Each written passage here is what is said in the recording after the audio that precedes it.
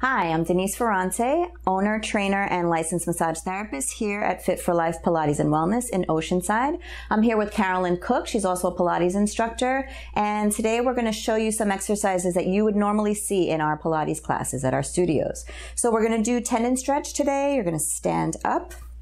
Heels are hanging off. Head is going towards the knees, nice and long in the legs and long in the torso. When you're ready, you're going to pull the belly in and push from that belly to push the carriage out.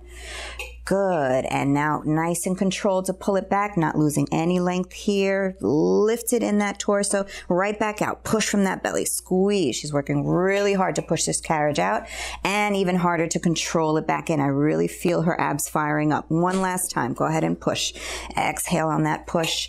Good. And bring it back nice and tight. She's super fired up in her obliques and close. Good job, Carolyn.